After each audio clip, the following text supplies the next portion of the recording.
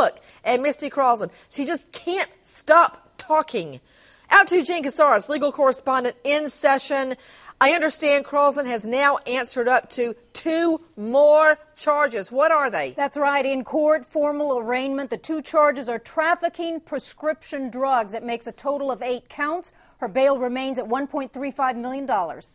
Why does she keep talking about getting out of jail? What planet is she from? It's her whole focus, Nancy. It's the whole focus among almost every conversation. It started with the income tax refund check could help get her out.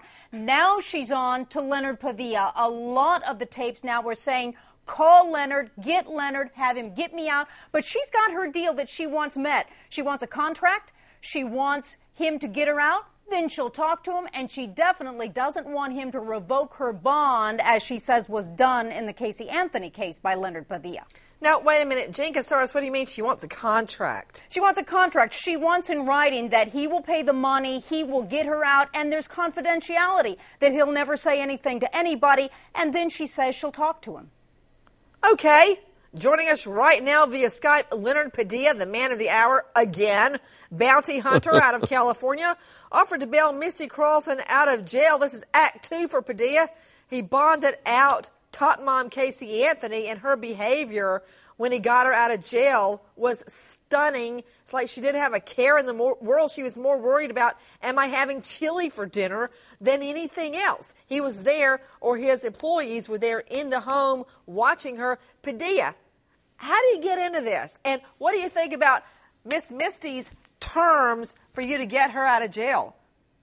Well, we, I think we got into this back on uh, the 11th of February of last year when we actually – went uh, to Satsuma and talked to a lot of these people uh, when we were back down the Casey Anthony uh, situation, and uh, we spent about four or five days there.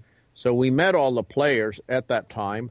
I even sat, sat on a chair uh, next to Ron Cummings while he was talking to the public on your show, and we we talked about this thing. Some of the people that were with me talked to some of the other players in the in the whole situation, and we knew them from back there and I think what developed was when uh, Bill Stout uh, started talking about bailing uh, her out, one thing and another. And the next thing is, I got a phone call from somebody asking if I was involved in bailing her out. And what I said is that I would pay for the bond, uh, given certain uh, stipulations. And uh, then I gave up the situations to her attorney, and I've not heard anything back from him. Well, I'm looking at her right now. Out to you, Art Harris. She looks stoned out of her gourd. Does she always look like that? I well, mean, I'm just seeing video. Maybe she looks differently, different in person. I have never seen, we have never seen a Misty like this, just obsessed with one thing, really orchestrating Herself? not only yeah, not only the drug deals, she drives shotgun in every sale, Nancy, but in the jail, telling her parents, ordering them to call Leonard Padilla.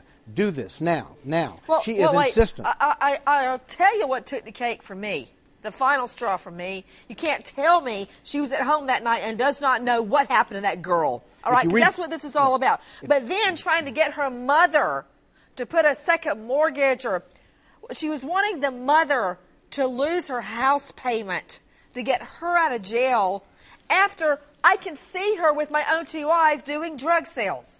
Okay? And she doesn't care.